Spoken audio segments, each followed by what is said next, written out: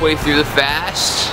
Everybody's doing great. Everybody's feeling great. Spiritually growing in the Lord. And, it's awesome what the Lord's doing in our midst. The Lord's saying, what the Lord's confronting in our hearts, what we're growing in our hearts, our understanding. And it's been a good week so far. And I just, I just want to say everybody to keep it up. You know, it's worth it. And I just want to encourage you out of uh, Daniel, out of Daniel 10. It's when, you know, the angel the Lord broke in and stood before Daniel as he was praying on his knees. You know, the angel came and tapped on his shoulder and he stood up and startled. And uh, in Daniel 10, it says this. The angel came to him and he said, Then he said to me, Do not fear, Daniel, for from the first day that you set your heart to understand, to humble yourself before your God, your words were heard, and I have come because of your words. And it goes on to say about what the Lord's going to be doing with his people in Israel and all this stuff and how the angel took him 20 whatever days to to break through the, the, the heavenlies, the darkness that he had to fight through the, the Prince of Persia and all this stuff. But the point, the point the Lord was really highlighting to me in Daniel 10 was he, Daniel set his heart to understand and he humbled himself. And that's part of what this fasting is all about, setting yourself in fasting, humbling yourself, and you set your heart before the Lord to seek Him for understanding, seek Him for many things. So I just want to encourage you, setting your heart is so important. You set yourself to, yes, God, I'm going to do this.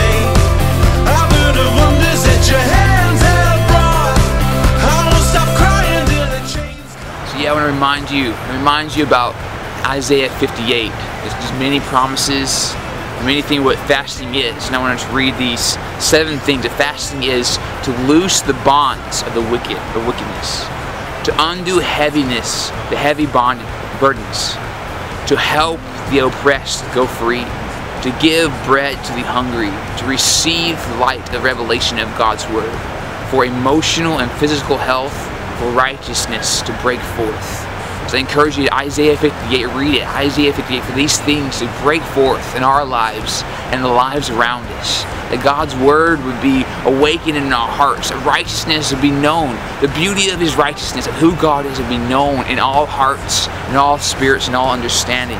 That would be loose the bonds of wickedness and then on.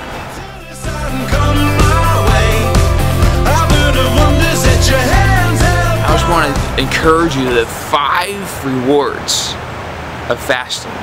Five awesome rewards, what fasting does to us. And one, one is the fasting that it tenderizes our hearts. That we could feel again and know again. It tenderizing me to feel that I would decrease in my fleshful desire, giving way to my fleshful desires and quick satisfying ways of life. And then I could be satisfied in the spirit and my heart would be tenderized to know Him, to hear His voice. And it changes our. Number two, it changes our desires. That enlarges our desire for righteousness, enlarges our desire to, to want what He wants, to go for what He wants. And the third is to increase our understanding of the Word and receive prophetic dreams. I don't know about you, I've been having dreams. The Lord's been really speaking about me, to me, about things either A, I'm offended about, things I'm bothered by that I, I need to take seriously, or God's saying something about my family or about the church or something like that. I'm having dreams. Number four is that making our bodies healthier and changes what we desire to eat and drink. I don't know about you, I'm not really looking forward to eating that greasy hamburgers or greasy you know, pizza or all this stuff. I'm like, my body's like, yes, it's cleansing me out. I don't know about you, I've been cleansed out.